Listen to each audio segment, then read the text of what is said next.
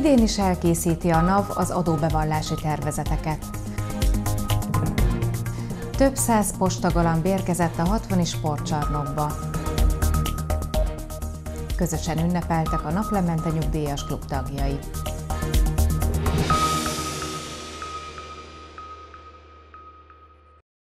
Köszöntöm kedves nézőinket! Önök a 60 televízió híradóját látják, Barna Boglerka vagyok, mondom a részleteket. Már elérhetőek a személyi jövedelem adóbevallásához szükséges információk a Nemzeti Adó és Vámhivatal honlapján. Bárki, aki ügyfélkapu elektronikus személyigazolvány, telefonos vagy arcképes azonosítással rendelkezik, március 15-től megnézheti saját adóbevallási tervezetét az ESZIA oldalon. Az ESZIA bevallási és befizetési határidő egységes valamennyi adózó számára május 22-e. A magánszemélyek mellett az egyéni vállalkozóknak, az őstermelőknek, valamint az áfa fizetésre kötelezett magánszemélyeknek is elkészíti idén is az adóbevallását a NAV. Azoknak, akik alkalmazottként dolgoznak, nem is kell tenniük semmit, mert a munkáltatójuk által leadott információk alapján az adóhatóság munkatársai összeállítják a bevallás tervezetet. Közölte az adóhatóság Hevesvár megyei adó és vámigazgatóság kommunikációs referense. Paskújné Pivkó Mónika hozzátette, miután az adóhatóság elkészítik a bevallás tervezeteket, érdemes azokat leellenőrizni. A magánszemélyeknél ugyanis, ha a tervezetet nem módosítják, akkor abból automatikusan bevallás lesz akik maguk szeretnék saját maguknak elkészíteni a személyjövedelemadó bevallást, már hozzáférhetnek a 22 SZIA jelű bevallás webes kitöltő programjához. Ezt legegyszerűbben a NAV ESZIA oldaláról érhetik el, az elszia.nav.gov.hu weboldalról keresztül. Az elkészített bevallások itt kényelmesen elektronikusan beküldhetők a NAV felé. A NAV felülete akkor is alkalmas a bevallás elkészítésére, hogyha valaki nem ügyfélkapun keresztül kívánja benyújtani a bevallását. A papíralapú kitöltéshez szükséges üres bevallási nyomtatvány, illetve a kitöltési útmutató letölt, kinyomtatható az LCA oldalról, illetve beszerezhető a NAV valamennyi ügyfélszolgálatán. Paskújné Pivkó Mónika elmondta azt is, hogy aki rendelkezik ügyfélkapuval, elektronikus személyi igazolványjal, telefonos vagy arcképes azonosítással, március 15-től nézheti meg a saját adóbevallási tervezetét az ESZIA oldalon. Itt lehet a bevallási tervezeteket módosítani, szükség esetén kiegészíteni és beküldeni a NAV felé. Akinek nincs KAU azonosítója, március 16-áig kérheti a NAV-tól, hogy postázza ki részére a papíralapú tervezetet. Kérhető tehát a tervezet postázása SMS-ben a 0630 344 43 04-es telefonszámon.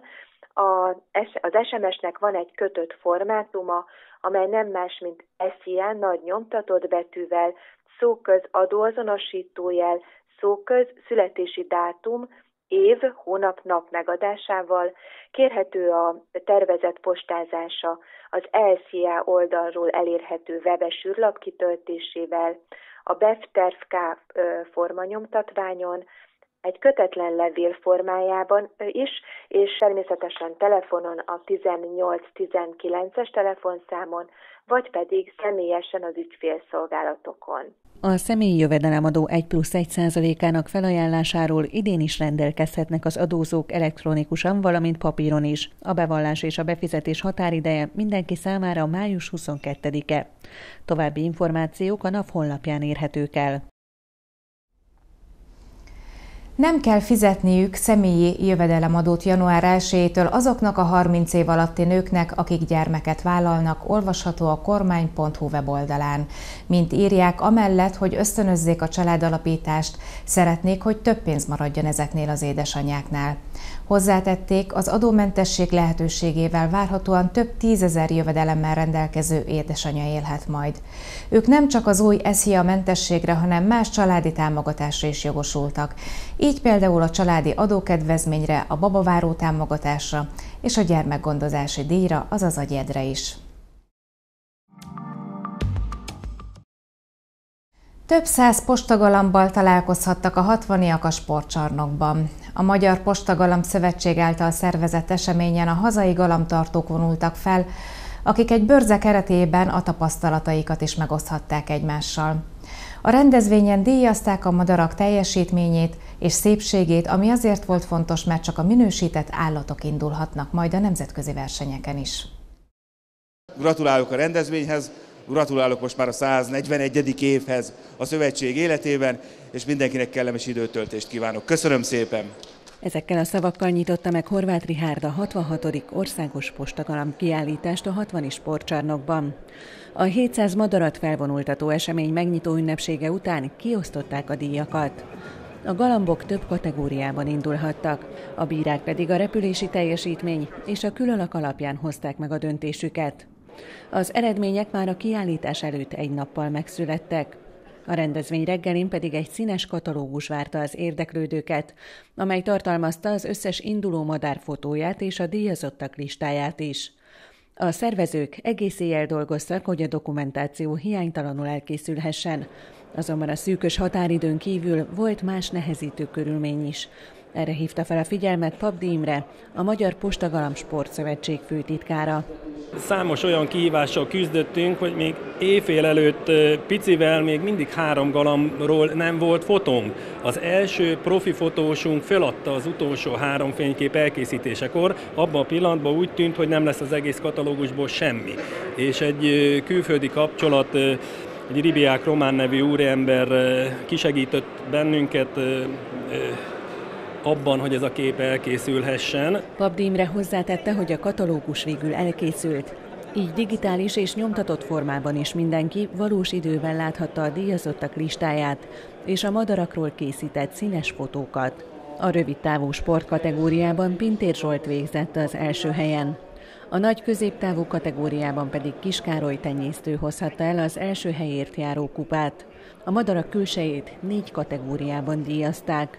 A standard hímek között ifjabb Ferge Miklós galambja hozhatta el a legjobb minősítést. Bodonyi Ferenc, a Magyar Postagalam Szövetség 60 elnökségének tagja kiemelte, hogy az eredmények mellett az emberi találkozások teszik igazán értékessé az eseményt. Hát nagyszerű eredmények születtek, az itteni legjobbak utaznak a Romániába, azt hiszem január vége, február eleje lévő közép kiállításra. A mai nap ugye az ünnep, a galambász találkozó, az ismerettségek, a barátságok. Jó magam is nagyon sok olyan emberrel találkoztam, akit nem is tudom milyen régen beszéltünk. Nagyon nagy öröm volt ez nekem. Akit a galamb szeretete egyszer megfertőz, az nem tud többet szabadulni. Erre hívta fel a figyelmet Hegyi György, a Magyar Postagalamb Sportszövetség elnöke. Amikor minden baja van az embernek, kimegy a galambok közé, mindent elfelejt. Azonnal kitisztul a feje, megnézi, tudja, hogy ez melyik számú galambom, ez hogy van, melyik jött haza, melyik nem jött haza, tehát, tehát teljesen kikapcsolódik az életből, és ez meg tudja hosszabbítani az embernek az életét, mert amikor leszáll a galamb, megjön az, mindenkinek a saját galambja, az, az embernek a szíve megdobban. Az egésznapos események után este a Nagy Endre rendezvényteremben folytatódott a program, ahol vacsora és műsor várta a vendégeket. Különleges alkalomból gyűltek össze a Naplemente Nyugdíjas Klub tagjai a 60 rendezvényházban, ugyanis pótszilveszteri találkozót tartottak. A programon beszámoltak éves terveikről és céljaikról is. Pót Szilveszter tartottak a Naplemente Nyugdíjas Klub tagjai a Nagy Endre teremben. Az eseményen külön-külön asztaloknál foglaltak helyet a tagok, a legtöbben süteménnyel is készültek az ünnepségre, amiket bárki megkóstolhatott. A programon Lestján Balázs alpolgármester is részt vett, aki köszöntötte a megjelenteket. Becsüljék meg egymást, óvják egymást, szeressék egymást, és így, ha itt telik az év, akkor van értelme az új évnek. Úgyhogy kívánok mindenkinek nagyon jó egészséget, nagyon jó mulatást, és nagyon jó élményeket a kirándulásokhoz. A Naplemente Nyugdíjas Klub tagjai január első heteiben már megtartották szokásos évkezdő gyűlésüket, melynek keretében egyeztették az idei terveiket. Már elkezdték a farsangi program előkészületeit is, valamint idén is szerveznek közös nőnapi ünneplést. Mindezek mellett ebben az évben is szeretnének sokat kirándulni. Gömzsik Ferencné, a nyugdíjas klub elnöke elmondta, hogy a régi hagyományokat is szeretnék visszahozni a klub életébe.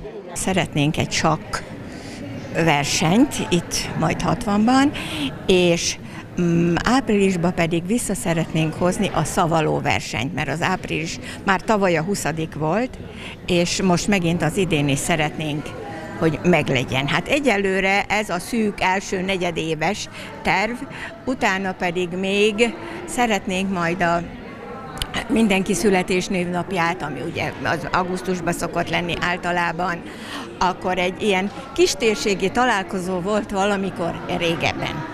Azt is szeretnénk, a Naplemente Nyugdíjas Klub 1987-ben alakult, azóta pedig töretlen lelkesedéssel élik mindennapjaikat. Éves munkatervel rendelkeznek, így a klubtagok is folyamatosan nyomon követhetik az aktuális programokat.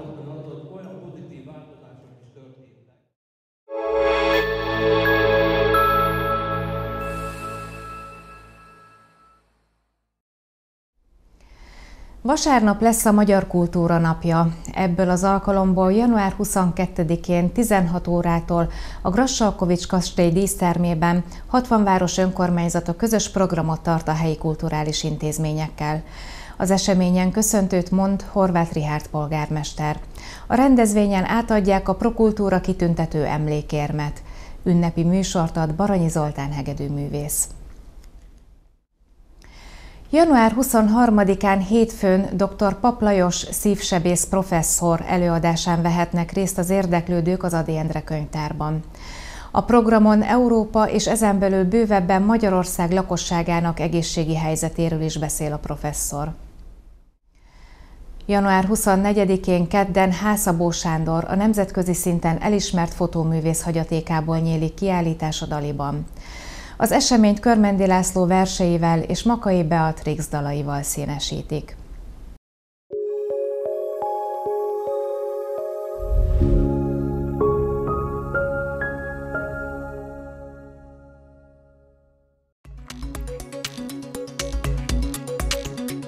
Kedden eleinte több felé várható eső, zápor, a legmagasabb hegyénkben esetleg havas eső, hózápor előfordulhat, majd napközben átmenetileg kisüthet a nap.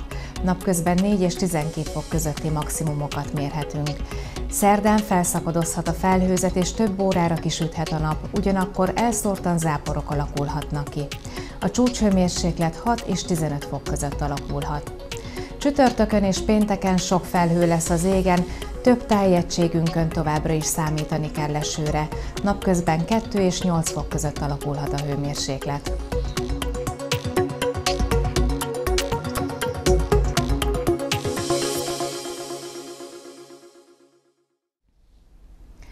Kedves nézőink, ezek voltak a legfrissebb híreink. Most a mesepercekben a Három kismalac és a farkas című mesét hallgathatják meg a gyermekek. Ezt követően a Palettában az ötös számú általános iskola dráma szakkörének előadását láthatják. Adásainkat visszanézhetik a 60 TV YouTube csatornáján és Facebook oldalán, híreinket pedig megtalálják a 60hírlap.hu weboldalon. Ha tehetik, maradjanak velünk, viszontlátásra!